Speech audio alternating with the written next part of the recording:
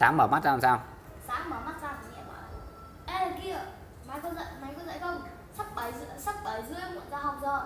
Xong xong dậy xuống chưa 6 giờ ví dụ một ngày học thế ví dụ một ngày đi học có như thế ừ xong làm sao nữa? Xong lại quay lại ngủ tiếp. Sa, dạ, xong nữa xong rồi chưa chưa được 5 giờ thì thì, thì cái chổi nó ngay ngắn bên cạnh. Thế thôi đi đánh răng rửa mặt.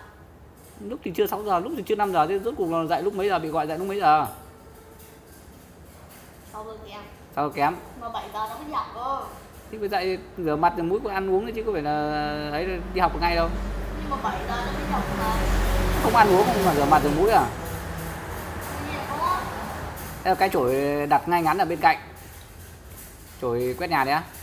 Cái chỗ cái chỗ quét nhà cái chỗ quét nhà mới mua vẫn còn vẫn vẫn còn đang bóng vẫn còn đấy. Để đâu? Để nhưng mà để đấy làm gì?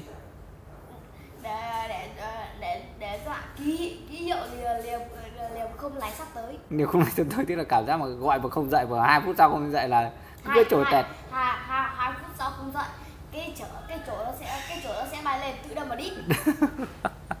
Thế thì ăn thì ăn phát nào chưa? Rồi chứ đầu thì thốn tận đến rốn đầu thế thì ăn tại sao cứ đòi ngủ cố làm gì có dậy mỗi việc dậy ăn mới hòng ngủ đấy mà cũng được ngủ làm gì. Đến giờ dậy phải đi học chứ kêu còn kêu cái gì nữa gọi mãi không thèm dậy.